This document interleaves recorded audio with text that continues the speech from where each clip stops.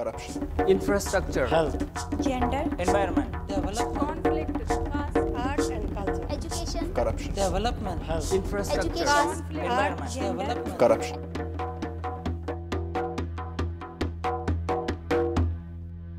इलाहाबाद शहर की सबसे पुरानी यात्री परिवहन सेवा आज अपने अस्तित्व की लड़ाई लड़ रही है J N N U R M के तहत पूरे शहर की कायाकल्प की जाएगी अब बसें सारे शहर में दौड़ेंगी यानी सबसे पुरानी यात्री परिवहन सेवा अब शहर के बाहर हो जाएँगी।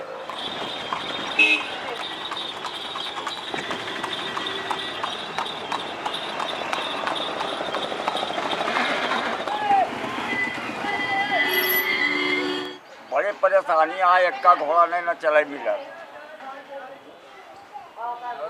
बच्चन का खाइएगा एक पैसा कमाई नहीं होना हाँ। सबसे ज़्यादा तो यही तकलीफ़ है हमें लोग की अगर दिन भर में सौ पचास रुपया कमाई हो जाए तो हमारे बच्चे को रोजी रोटी चल जाए।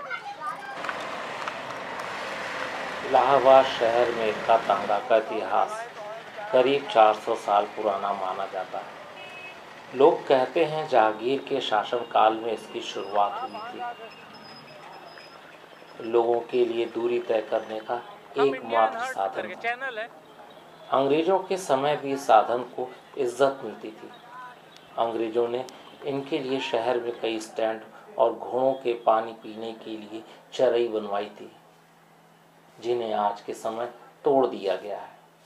ये जो हमको यहाँ से हटाया जा रहा है किस बेस पे हटाया जा रहा है? किस योजना पर? यहाँ से हटाकर हमको क्या करेंगे? ये हम इक्का घोड़ा चलाते हैं, सौ, डेढ़ सौ रुपया कमाते हैं, डेढ़ सौ कमाया तो अस्सी रुपया घोड़ा खा जाता है। साठ, सत्तर रुपया बचता है, उसमें हम नमक रोटी चला नहीं पाते। लगभग 600 लोग इलाहाबाद में हैं, जो कि टांगा रोज़गार से जुड़े हुए हैं। आज वो स्थिति में नहीं है कि वो दूसरा कोई व्यापार करें या रोज़गार करें। ऐसी कंडीशन में सरकार से मेरी गुजारिश है कि इस मसले को गंभीरता से दें और टांगा वालों के लिए अपनी कोई नई योजना बनाकर और इनकी वजह से जो है पर्यावरण का संतुलन भी बना हुआ है शहर में। प्रशासन ने इक्का तांगा मालिकों की मांगों पर अभी तक कोई ध्यान नहीं दिया। है इस योजना के खिलाफ इक्का मालिकों और चालकों ने एक दिन की हड़ताल भी की।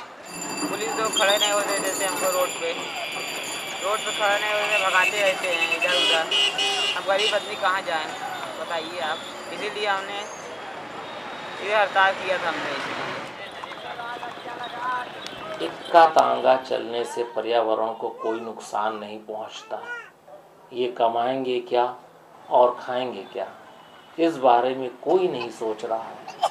इनके घर उजड़ जाएँगे। बिना कोई वैकल्पिक व्यवस्था किए इन तांगा इक्का वालों को हटाना कहाँ तक उचित है? मैं अजीत बहादुर, इलाहाबाद से इंडिया अनहर्ड की